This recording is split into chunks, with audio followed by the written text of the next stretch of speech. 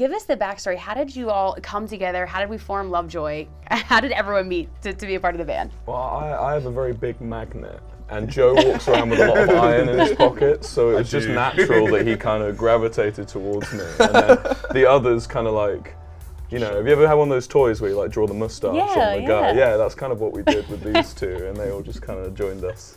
So have you known each other forever? Is this like a Uh, I've known? I've known Joe for pretty much longer than forever, but these two, I met him at a burger restaurant. Oh, and really? Mar- yeah, and Mark I Mark I found on Fiverr. It's a, Oh, um, Fiverr, a website yeah. for like buying Mark. You're marking. wait? And then so you how did you meet at a burger shop? How did that go down? He was wearing a bass on his back, and I was like, "Do you want to be in a band?" And he went, "Yeah." And so I gave him my address. So when was the first moment that you guys were like, okay, I think we're onto something. Like this is a, this is good for us. When we found Mark, so Mark is yeah. the missing piece. Mark Mark kind of glued it all together.